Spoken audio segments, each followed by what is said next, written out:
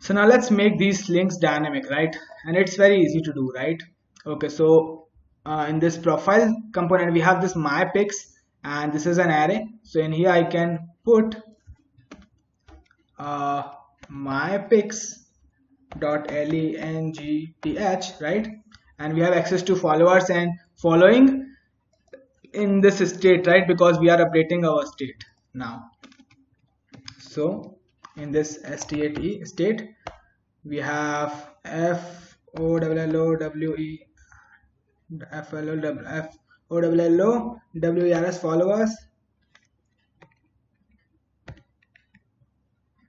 dot l e n g t h length.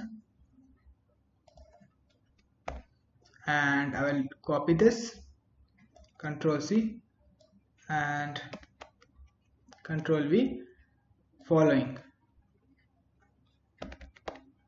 F O W L O W I N G. And now we should check this condition because it may take a little bit to fetch right? So we, we should add condition right? Control C control V control V control V oh control Z control C control V okay?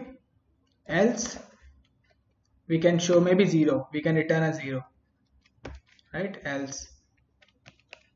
Or you can return loading as well right right? Okay. Let's save this. Here we can see 0 following 0 followers 0 following. Let's see what is in in our state.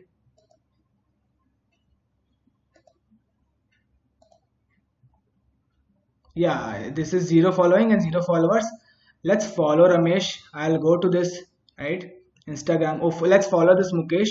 Right so I'll again follow this.